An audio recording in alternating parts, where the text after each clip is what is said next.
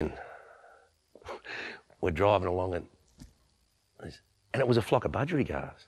It was almost surreal. Boop, there they go. Balls of yellow and green and blue and grey colour out in the middle of the desert, ducking the budgies.